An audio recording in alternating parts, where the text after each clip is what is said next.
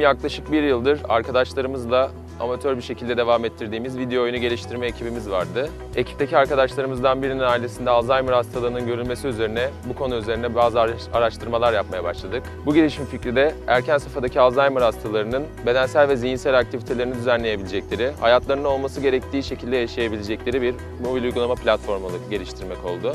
Şu an hedefim burada edindiklerimi döndükten sonra ilk seferde, ilk fırsatta hayata geçirmek. Bence fikri olan ve bunu hayata geçirmek isteyen herkesin yolu Hamdi Ulukaya girişimiyle kesişmeli.